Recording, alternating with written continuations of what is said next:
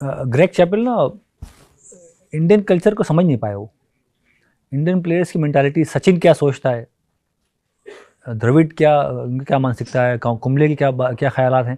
John Wright उस काम में माहिर थे। जॉन राइट बोलते थे, भाई, मैं यहाँ बैठा हूँ, तुम लोग टीम रन करो, मैं तुम्हारे पास आऊँगा, पूछूँगा आपसे कि सब कुछ ठीक चल रहा है, कहाँ क्या कमी है? वो ऐसे काम करते, ऐसे मेंटर काम करते।